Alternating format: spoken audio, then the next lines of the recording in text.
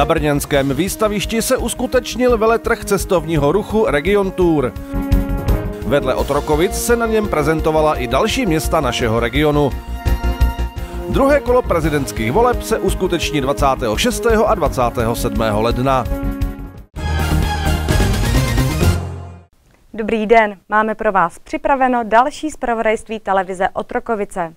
Dnes se budeme trochu netradičně věnovat jen jednomu tématu. Každý rok v lednu se na brněnském výstavišti otevírají brány největšího veletrhu cestovního ruchu v rámci Vyšegradské čtyřky – Region Tour. Jedním z hlavních cílů konceptu tohoto veletrhu je ucelená prezentace všech krajů České republiky. A v posledních letech se také velmi intenzivně prezentují Otrokovice. A proto jsme se s kamerou zajeli podívat nejen na expozici města Otrokovice, ale také jsme se rozhlédli, jak se prezentují některá další města z našeho kraje. O slavnostní zahájení veletrhu se postaral předseda Senátu Milan Štěch. Děkuji za pozvání a já jsem přesvědčen, že všichni z nás si uvědomujeme, jak turistika, turistický ruch je důležitou součástí prosperujícího našeho českého hospodářství. Jistě naším přáním, snahou je, aby nejenom více Čechů využívalo možností v naší zemi a stále více i třeba jezdili do zahraničí, ale především, aby také turisté, kteří přijíždí k nám, eh, měli z České republiky ten nejlepší dojem. A samozřejmě, aby taky naše občané využívali naše vlastní kapacity které rok od roku jsou na vyšší a vyšší úrovni. A myslím si, že tyto veletrhy jsou dobrou ukázkou toho pokroku, kterého jsme dosáhli.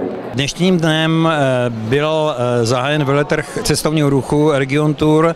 Je to akce, která probíhá každoročně právě v tomto období, to znamená v polovině měsíce ledna. Město Otrokovice se pravidelně zúčastňuje eh, tady této akce s tím, že propaguje a zve eh, návštěvníky, možné návštěvníky do našeho města. Dá se říci, eh, že ten region tour od té doby, co jsem zde jezdil, se docela změnil, protože v minulosti byl spíše nastaven tak, že propagoval určitá území, určité kraje s tím, že postupně docházelo k tomu, že se eh, začaly ve větší míře zúčastňovat eh, cestovní kanceláře, takže eh, ten ryze nastavený systém byl takový, že, že prostě mm, obce, města, kraje se nějakým způsobem mm, propagovaly. Zlínský kraj se v podstatě dodržel tady toto téma, nicméně jinde vidíme, že to až tak není. Takže já jsem rád, že, že tady můžeme propagovat město Otrokovice, že nám tady nezavazí žádná cestovka a že můžeme eh, případné zájemce pozvat do našeho krásného města. Město Otrokovice se společně s dalšími městy z regionu prezentovali v expozici z Línského kraje. Tato expozice samozřejmě prezentuje eh, potenciál cestovního ruchu ve Zlínském kraji, ať to jsou teda třeba ty nejvýznamnější památky, které jsou zapsané na seznamu UNESCO, ale vlastně i další, další památky, eh, které ve Zlínském kraji je možné navštívit. Eh, a to vlastně ve všech těch čtyřech místech nebo lokalitách, bych řekl, to je Valašsko, je to samozřejmě Hana, je to Slovácko, je to Luhačovské, Luhačovské zálesí a je tady prezentován vlastně i Baťův kanál, který prochází Eh, po té své trase vlastně i v Otrokovicích. A já musím říct, že při svých návštěvách eh, těch eh, jednotlivých turistických informačních center po Zlínském kraji, tak třeba speciálně to turistické centrum, které je v Otrokovicích, tak opravdu patří mezi ty, bych řekl, velmi dobře vedené, vedené, vedené místa. A pro nás, my to vnímáme z úrovně Zlínského kraje vlastně, tak to vnímáme tak, že ti lidé, kteří jsou na těch turistických informačních místech, vlastně na těch bodech, tak jsou ti, eh, kteří mají osobní kontakt s tím člověkem, který navštíví Zlínský kraj. Takže o to mám větší radost, že vlastně na těch svých cestách se potkávám s lidmi, kteří cestovnímu ruchu rozumí, eh, že jsou schopni poskytnout informace eh, v mnoha případech i na velmi profesionální úrovni a pro ti, kteří třeba ty zkušenosti nemají, tak jsme třeba v loňském roce připravili takovou vlnu školení pro tyto zaměstnance, aby poskytovali ty informace tak, jak si my představujeme. Nejblíže k Otrokovicím má krajský Zlín. Obě města spojuje nejen těsné sousedství, ale také velmi vytížená cyklostezka. Já bych strašně rád pozval všechny do Zlínského kraje a zvlášť do Zlína, protože tam teďka cyklostezkama propojeny jsou všechny města. Hradiště, Kroměříž, Otrokovice, Zlín a náš velký klenot Štípa, zoologická zahrada. Takže tohle je hlavní tahák, který teďka Zlín může nabídnout cestovnímu ruchu a můžu říct, že ta cyklostezka je rok od roku oblíbenější a táhne víc a víc turistů k nám do města, přímo na náměstí. Vidím to často přímo pod oknama radnice. Na opačnou stranu se lze po cyklostezce dostat až do Kroměříže.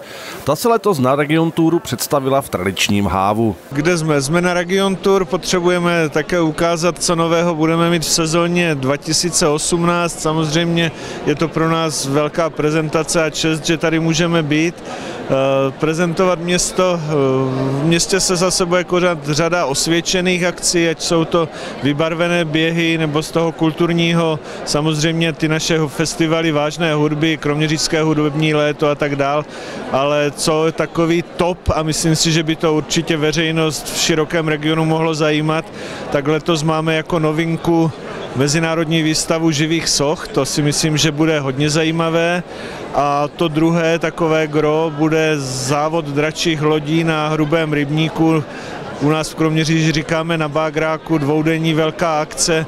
Celý ten rok je připravený tak nejen zaměřený na ty turisty, co přijedou, ale hlavně, aby se pobavili i místní a kroměřížáci, takže jsou to akce pro kroměřížáky a samozřejmě budeme rádi, když na ně přijedou i ti turisté. Samozřejmě byl bych rád, protože vím, odkud jste televize, tak doufám, že mám, nebo mám určitě furu přáteli v Otrokovicích, takže doufám, že přijedou i občané z Otrokovic. Rádi vás přivítáme, máme dobré víno a určitě i to dobré jídlo se najde. Pobavíte se, uvidíte. Jedním z častých cílů obyvatel Otrokovic jsou největší moravské lázně Luhačovice. Proto jsme se zeptali na letošní novinky. Největší novinkou letošního roku pro nás už je takový pobyt, který už je jenom takovou tou třešinkou na dortu, si dovolím tvrdit, protože je to týdenní pobyt ve vybraných termínech eh, letošního roku, kdy lidé budou moct přijet na pobyt týden v hotelu Popr. Hotel Popr v Luhačovicích vlastně neexistuje, ale stvořila ho Česká televize v rámci seriálu Četníci z Luhačovic, takže jste ho mohli vidět eh, v seriálu Četníci z Luhačovic. No a my jsme ve vybraných týdenních termínech nebo pobytech eh, udělali pobyt, kdy lidé budou moct přijet a my hotel Dům Smetany, což je ten hotel Popr, my ho na ten týden přejmenujeme na hotel Popr a služby v tom hotelu budeme nabízet také v aranžmá té první republiky, takže například ve snackbaru budou obsluhovat naši zaměstnanci v dobových kostýmech z té první republiky a podobně. Takže to je taková ta největší novinka, ale samozřejmě základem pořád zůstávají ty léčebné pobyty zaměřené na léčbu dýchacích cest, pohybového aparátu, zažívacího ústrojí, to je u těch dospělých a u dětíček je to především o té léčbě dýchacích cest.